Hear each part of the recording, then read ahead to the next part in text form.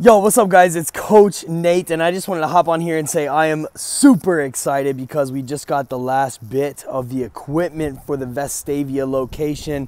Uh, I won't show you too much of the garage because it's a bit messy with all the kids' toys and stuff. But we just got the last bit of the equipment for Vestavia location today, and it's it's so crazy because it was just a little over a year ago that we were doing this for our downtown location when we moved from 32nd Street over to where we are now in Pepper Place. And maybe about 15 months later, 16 months later, here we are doing it again. Garage full of equipment. And I am so excited to change lives, continuing to change lives in downtown Birmingham, but also bringing what we have to offer to Vestavia. So if you're excited, let me know in the comments.